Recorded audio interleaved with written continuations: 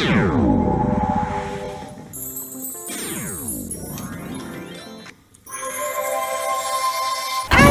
my God! Muntik na ako doon. Oh my God. Ang lakas ng impact ah. Wala kasing preno yung sinakyan kong ano, unicorn. Oh my God! Eto na naman tayo. Yung nag-iisang Madam Lords. Gusto kong ah, mag-actual demonstration din tungkol dun sa mga shorts na nire-request ninyo na with lining. So, hindi pa tayo gumawa ng short na with lining. Yung pinakita ko sa, sa inyong shorts, walang lining yun. Pero may bulsa din yun. Yung pangbenta shorts natin, kung natataka kayo kung bakit ganito ang itsura ni Madam Los, ito talaga ang itsura ko sa Encantadia, okay? Ito yung national costume namin doon. At uh, sabi nila, isa daw akong diwata. Okay? So, hindi po talaga ako tao.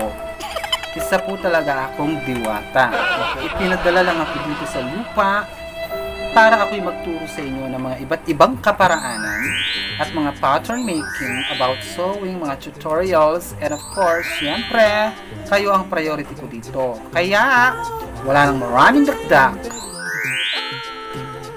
So, ikakat na natin sa tela yan. So, natabas ko na siya sa tela. At ang ah, front natin, para sumariwa sa inyo, maglalagay din ako ng ah, indication kung hanggang saan yung bulsa. So, meron na akong ginawa ditong tikete like this. Dito. At natabas ko na rin, which is ito yung ginamit ko na pattern para sa packet natin. Meron din siyang opening na 6 inches. At ang lalim niya dito is uh, 5 inches. Okay, dito naman 5 inches din dito. Gumawa ako ng para sa packet ng apat na piraso. Kasi kada isang packet gumagamit ng dalawang piraso. Okay, so dito na tayo sa ating uh, makina para gawin na natin ang ating packet. And of course, syempre, dahil may lining naman ito, hindi na tayo mag-aging. So, dit tatahiin na natin yan dito.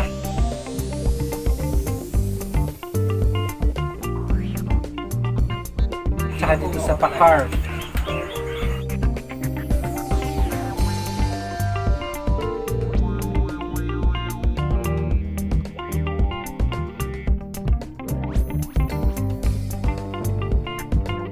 So ilalagay na natin dun sa front. Yan, unahin natin dito sa kabilang ah, front. Kasi may indication tayo. Ito. So, packet natin. Ito siya. O, pansin nyo. Ayan. So, kukunin mo lang ito. Itong nasa taas. Ito yung i papatong mo dito. Tsaka sa tatayin natin ng 3/8 yan. Siyempre, maglalak kayo bawat dulo. And then, kitehin natin yan.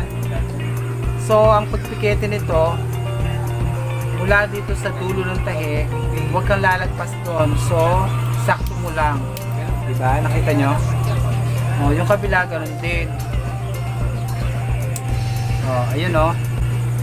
So, after natin mapikete yan, ipapasadahan natin siya ng 1/4 dito.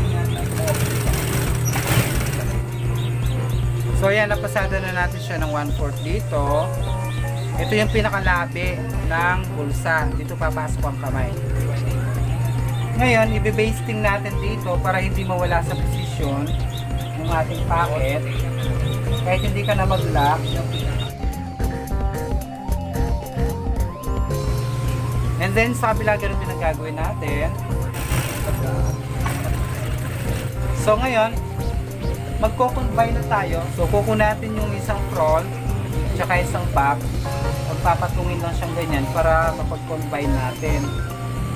Ako ang ginagawa ko, itong front ang nasa ibabaw para makita ko kung hanggang saan yung lahi-labi ng bulsa para hindi siya masagasaan sa ating pasada.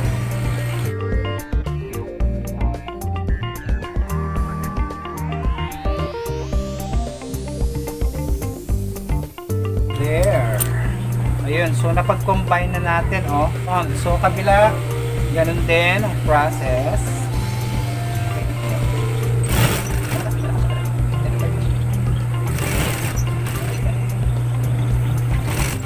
So, ang next natin gagawin yan is iwa 116 natin dito sa may back back part ang pagawa 116 hindi dito sa front kasi meron siyang labi dito which is yung bulsa nga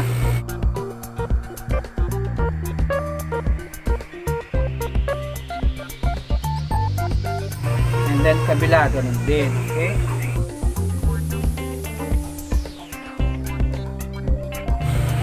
So ayan, after na natin siyang 116 dito sa side, uh, lalapatan natin ang lining.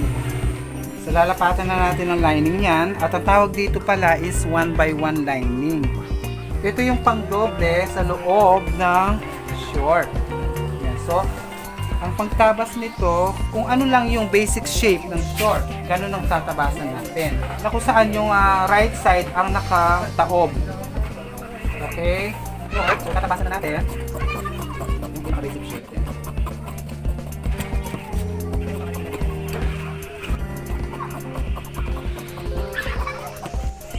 And then, ito natin, bali dalawang piraso na yan eh. Two ply na siya. Tapos ito, ipapatong natin dito na nakaharap din yung right side dito. Okay. Ayan, so eto na, ang mayayari niyan is kukunin natin yung ah, isang piraso ng short. So, ang tatayin natin yan is sa laylayan. Ito yung laylayan, di ba? So, mananahi tayo dito ng 3/8. So, inuulit ko ha, ah, ang right side nakaharap dito sa lining. So, tahin na natin yan. Ito, hawakan sa dulo. Ganito, para hindi mawala or hindi sumubra. Kailangan lagi nyung hinahawakan sa dulo. Tapos, para mag-balance. Kasi, ano, yung iba, hindi nila hinahawakan sa dulo. Kaya pagdating sa dulo, minsan sumusobra yung lining or ano, hindi nagbabalance. So, kailangan be sure na hinahawakan natin yan sa dulo. Okay? And then, yung isa, ganun din, papasadahan natin sa laylayan ng 3/8 here.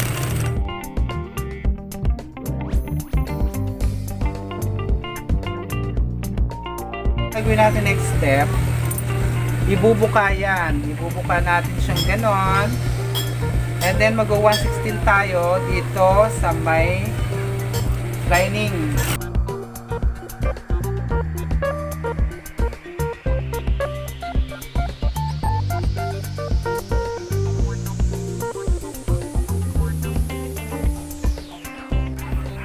So, eto, meron akong ginawa ditong pattern ng slit kasi after nating mapasada siya, maglalagay na tayo ng slit dun sa pinakagitna, dun sa side niya ng slit. So, ito yung ginawa kong ah, sukat ng slit.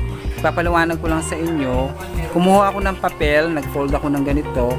And then, nagsukat ako sa height niya dito ng 1 and 1 4 Tapos dito, dahil naka-fold naman, 1 inch lang. Kaya pag binuka mo siyang ganyan, 2 inches ang luwang niya dito sa ilalim. So, ganyan ang slit natin. So, ipapakita ko kung paano i-apply ang slit dito kasi wala pang slit siya eh. Paglalagay naman ng slit, ayan, di ba nakaganyan yan? Ito yung uh, 116 natin dito. Ngayon, ibabaliktad mo siya. Dito tayo sa loob mag-slit. So, ang gagawin mo niyan is kukunin mo yung pinaka-center, yung dugtungan dito sa side. Ayan, kung mapapansin ninyo, ito yung pinaka-center sa side, which is nandito yung location ng bulsa eh. So, dito tayo mag slit dito sa saktong uh, paling niya dito. Kasi hindi mo lang pwedeng ganyan yan eh. So dito ang paling niya, ayan ganito. Kung makikita niyo, lumalaban siya. Kasi naka 116 nga siya, 'di ba? Yung yung lining niya. So ganito ang pagpaling niyan. Ngayon, dito natin ito trace yung ginawa nating pattern ng slit. Ayan. So, dito natin siya ito trace. So, tutuldukan lang natin siya ng tatlo and then papasadahin natin yan. Okay. Ayan, tutuldukan ko siya ng parang triangle.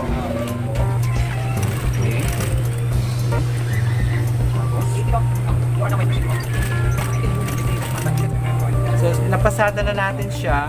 Gugupitin natin dito sa may center. Ayan. Pero be sure na wag mong gugupitin yung pinakadulo ng tahe. Kailangan malayo ka ng konting-konti kahit isang guhit lang. Putulin natin ito kasi matigas yan. Ayan. Ito. So, ibabaligtad natin siya ulit. Ayan. So, naka-slit na siya. Ngayon, gagawin natin, magpapasada tayo dito. Dito. Magpapasada tayo dito. Kasi, after that, ilalagay natin itong uh, lace tape na to dito. Kaya kahit anong sukat ng pasada mo dito, basta mapasada lang kasi tatakpan din naman natin ng lace tape na ganyan.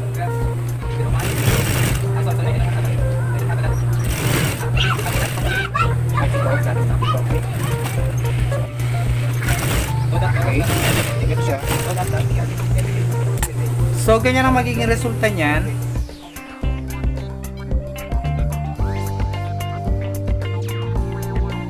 Ilalagay na natin yung ating uh, lace tape. Ayan, so as you can see, ini-start natin yan sa outer. Dito sa, wag dito. Mag-start tayo dito sa outer. So, ang paglagay naman ng bias or lace tape, uh, wag din yung hinihila. Actually, hindi naman stretchable to eh. Pero kung stretchable man yan, wag na wag yung hihilahin kasi maglulukot yung uh, body. Okay? So, pagdating dito sa may kanto, pasinin ninyo, ito yung kanto, ito. Dito, meron din kanto dito. So, pagdating dito, mag-stop ka dito sa saktong pinakadulo ng kanto and then ibabaon mo yung karayom doon. Okay? So, ganito yon Okay, ayan. So, naibaon na natin ang karayom doon. Tapos, ang gagawin mo lang, ang, uh, ang tape na to, ang tape na to, fold mo lang siya na nakaparallel dito. Ayan. After that, mananahid ka ng diretso dito. Tingnan nyo. Tatanggalin ko muna ha. Kasi dito nako-confuse ang iba. Hindi nila alam kung paano kantuhin dito. Ito yung uh, lace tape. So mananahi tayo ng diretsong paganyan. So kung ilan yung sukat niya dito, nakadepende yan dun sa pinaka kung ipo-fold natin kasi yung yung triangle niya dito ganyan, yung pinaka center dun magpo-fall ha uh, para pagka kinato natin ganyan nagkurba siya dito wala siyang ano dito. Okay? So diretso lang. Halimbawa ito tanggalin ko muna ha? So ito yung pinapaliwanag ko sa inyo na slit kasi uh, baka hindi nyo masyadong makuha. So gumawa ako ng parang papel para mapakita ko yung diagram kung paano ba tinatahi yung sulok dito at saka sulok dito at saka sulok dito para makuha yung tamang pag-angulo uh, ng uh, bias taping kasi pag hindi natin nakuha yung tamang pag-angulo ng bias taping may uh, something na lumulobo dito or uh, hindi siya makukuha ng maayos. So ito mga lines na to ito yung indication ng tahi. Ayan ito yung tahi yan. So ganito yan. Ayan nag start tayo naka start tayo dito sa outer. Nag 116 tayo dito pa ganyan. And then pagdating dito sa dulo dito sa may uh, dulo ng kanto na to saktong dulong dulo ibaon ng karayom dito. And then if fold ang so ayun o tingnan ninyo ang pasada kung nakuha nyo yung tamang diretso ayan o, di ba may guhit siyang ganyan? So kapag nagbend tayong ganito ayan, wala kang makikitang lobo dito. Wala siyang lobo-lobo dito. Okay, tamang tama lang siya para do sa tamang angulo niya dito. Okay, so at the same time dito, ganun din. Kapag nag-fold tayo ng ganyan dun sa saktong center dito, kailangan sakto yung center niya dito. Okay and so like this uh, pilin ko na siya dito. Kunwari napasada siya sa gitna ng ganyan. So kapag nag bend tayo ng ganito makikita nyo ayan. Ayan siya oh. Pag nag bend siya ayan. Kuhang kuha yung tamang angulo okay nakita nyo ba So, ganyan minsan nako-confuse yung iba. Hindi hindi nila alam kung kung paano yung tamang pagpasada dito. Kaya kung minsan merong hindi perfect yung pagka-triangle sa bawat sulok. Okay? So ayan, kasi halimbawa ito, ito ang tamang pasada niyan eh. Ito, ito sa center talaga. Kasi yung iba nako-confuse, minsan napapasada nila yan banda dito or banda dito. Kaya pag nag-bend siya, sumusobra mapupunta dito. Kaya pag pinilit nilang ilagay dito, magkakaroon ng lobo dito sa part na to. So hindi siya perfect. Okay, so yan ang uh, logic na ipapaliwanag ko para dun sa slip natin. Okay, so that is So ibaba ko ng karayom dito sa may uh, center ng kanto. Tapos fold natin siya dito. And then tatayin mo ng diretso yan. Naubusan ako ng Spanish language talaga ng ano eh. Promise. Tapos ibabalik dun sa dating pwesto dito sa may ah, pinakadulo ng kanto. And then i-bend mo siya dito. Ayan. Ayan dito. Dito tatayin mo na naman siya ng another after na nating mailigay yung ah, taping niya pagtataubin natin yung dalawang parts ito kabila. Pagtataubin natin ganito. After that kukunin natin itong so kukunin natin itong isang lining ilalagay sa kabila. Ganito oh. Ilalagay sa kabila. And then pag nailagay sa kabila tatahiin natin dito. Dito yung sa pinaka crotch ito. Sama-sama na yung amba ayan so ito kukunin natin yung dulo. Ayan. Ito okay so pagpapatay-patay mo siya. Ito. So patay-patay yan. Ngayon ibabalik mo dudugin natin yung ibabalik naman natin para ma- matibay siya dito ngayon dito naman tayo magpasada sa kabila sa kabilang crotch yung back pagsama-samahin yung apat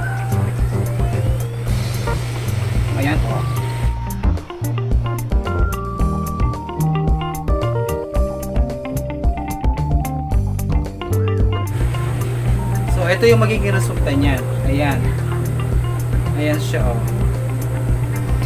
ayan may lining na siya at least malinis siya dito tatahin na lang natin siya dito sa may punja dito sa ilalim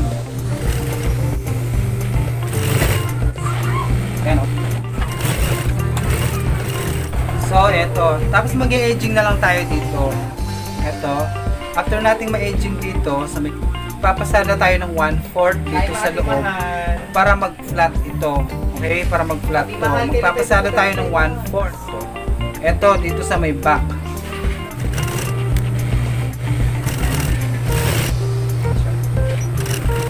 So, bali ganito ang mangyayari niyan. So, garter na lang ilalagay natin. So, meron na ako dito naka-prepare na Gina na ilalagay natin para sa garter. At ang lapad nito is 3 and a half. Dito tayo mag attach sa may ah, front. Ito kasi yung harap ito. So, babalikan natin siya dito. So, mag-start tayo dito na naka-fold ito. At least half inch ang pagka-fold natin. Bakit natin half inch eh? Isang kahit